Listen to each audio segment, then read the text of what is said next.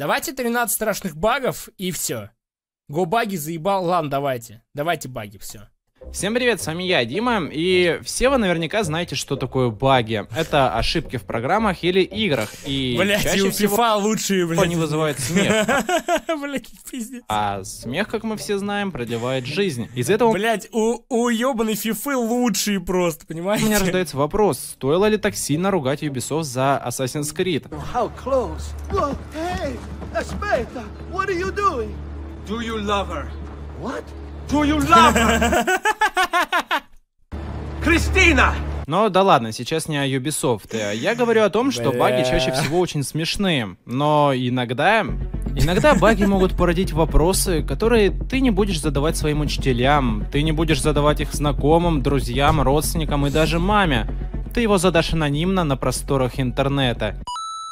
Думаю, вы со мной согласитесь, если я скажу, что чем страшнее сама игра, тем больше вас может напугать какой-то баг. К примеру, если вы играете в какой-нибудь Sims и у вас вдруг залагала игра, Вдруг, вы да. вряд ли испугаетесь. Ладно, беру свои слова обратно, но в любом случае, когда ты и так на нервах играешь в какой-либо хоррор, внезапный глюк напугает тебя намного больше. Так что начнем мы, пожалуй, с менее страшных багов, э, которые находятся не в ужастиках. Например, э, с Call of Duty 2, а именно баг э, «Говорящие мертвецы». В игре такой баг был не редкостью, и в интернете можно найти несколько роликов с говорящими трупами. Какие-то из них даже забавные, как, например, вот этот Хрен знает.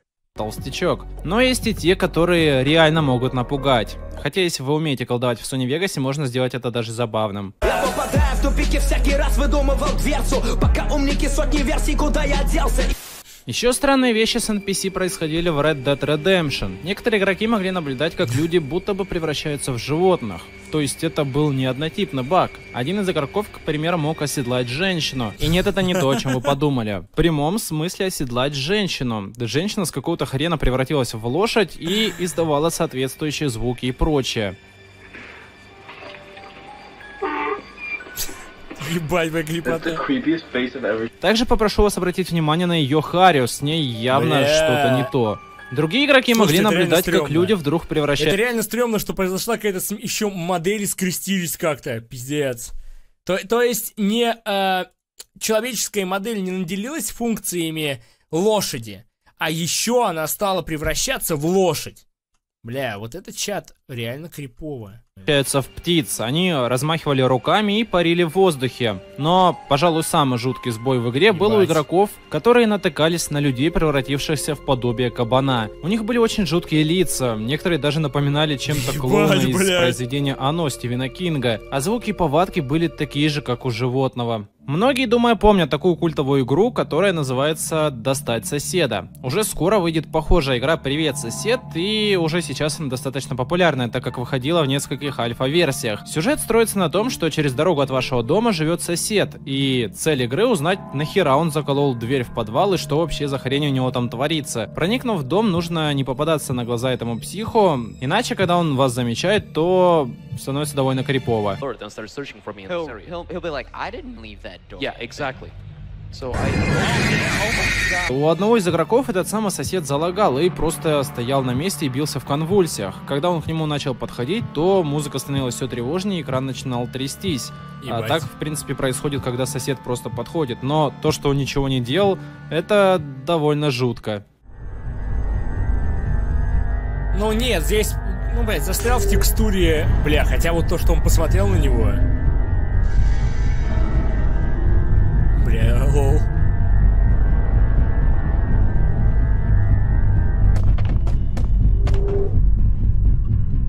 Очень много багов встречается в играх Bethesda. Крепота. Оно и понятно, это игры с невероятно большим открытым миром и морем возможностей. Так что сделать игру без ошибок, думаю, физически нереально. Один из игроков, снимая свое прохождение игры, наткнулся на жуткий баг. Проходя игру, он убил женщину, но заметил, что после смерти она продолжала моргать. Недолго думая от страха, он решает отрубить ей башку, но и это решение никак не справляет этот баг, и отрубленная голова женщины все еще подает признаки жизни. Также странная хрень происходила с головой доктора Митчелла, причем встречалось это у многих игроков на ранней версии игры. Если помните, в самом начале игры он просто сидит и общается с главным героем. По крайней мере, так это должно быть. А вот так вот это выглядело в первой версии. И если вы думаете, что голова это все, на что он способен, то вы ошибаетесь. Еще он умеет летать. Так, ну а вот это уже вообще 18 плюс попахивает. И, наконец, Skyrim. Опять-таки, в игре было очень много жутких багов. Э, Например, здоровенные пауки, которых очень сильно колбасило. Или людоеды, которые издавали жуткие забагованные звуки.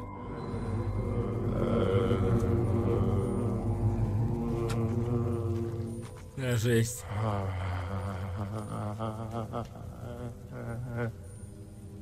Но рассказывать обо всех багах я не вижу смысла, я обещал вам рассказать об одном из самых редких. Натыкались на него игроки, которые покупали поместье Медовик. При первом посещении дома его обустройства, если спуститься в подвал, можно заметить, как манекены двигаются. Хотя разработчиками это не было продумано, это реальный баг игры. И согласитесь, довольно необычный.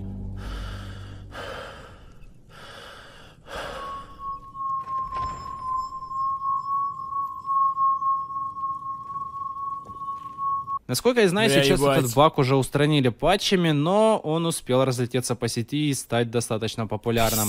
Думаю, все, кто играл в Фир, помнят такую девочку, как Альма. Как, как, как на мимасе, где сидит девочка белая, а вокруг нее темнокожие парни. достаточно популярным. Думаю, все, кто играл в Фир, помнят такую девочку, как Альма. В играх этой серии она очень часто пугала игроков своим внезапным появлением. Точнее, в первых двух частях, а дальше уже было такое себе.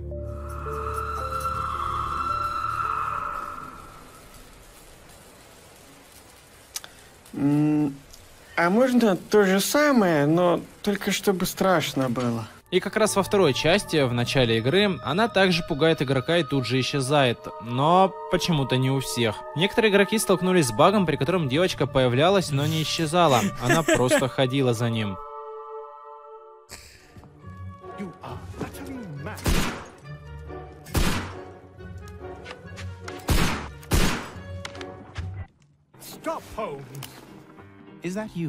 Знакомьтесь, э, Шерлок Холмс, лучший детектив в мире, который еле узнает своего друга по голосу.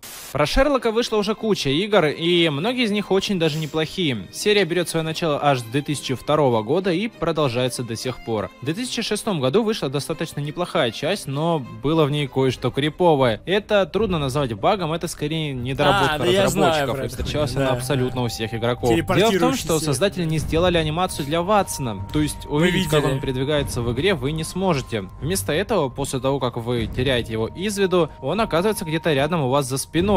Нередко это пугало игроков, и кто знает, возможно, идея Слендермена родилась как раз после Шерлока. Согласитесь, это реально очень крипово. Ролик с этим багом вообще собрал очень много просмотров, больше трех миллионов, а также люди делали пародии на движке уже новых игр серии.